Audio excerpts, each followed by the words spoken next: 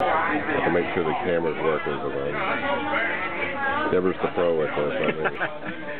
okay, this is Mike Espinosa, West Metro Web TV, and we're here at the Still today, and we're with uh, a group of the Legion Riders, and I'd like for each of you to introduce yourselves.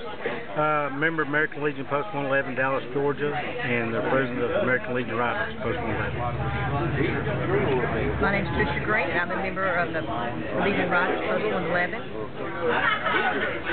I'm Beth Johnson, Post 111, ALR Riders. Christina Minter, uh, American Legion Riders, Post 111 in Dallas. Okay.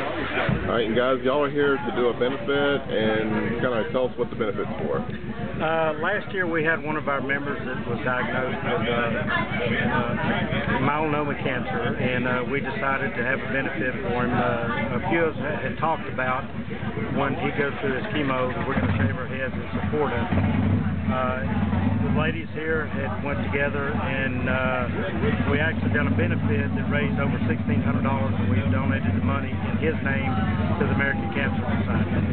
Uh, this year we